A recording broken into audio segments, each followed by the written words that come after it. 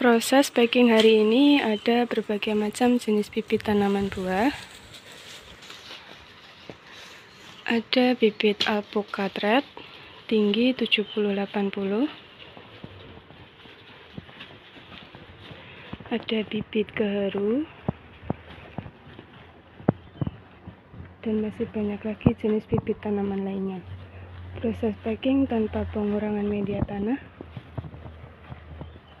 menggunakan packing peti kayu. Terima kasih kami ucapkan kepada yang sudah order. Untuk pesanan akan segera kami kirim hari ini juga. Untuk info stok dan pemesanan, bisa langsung menghubungi nomor yang tertera di dalam video maupun di dalam deskripsi.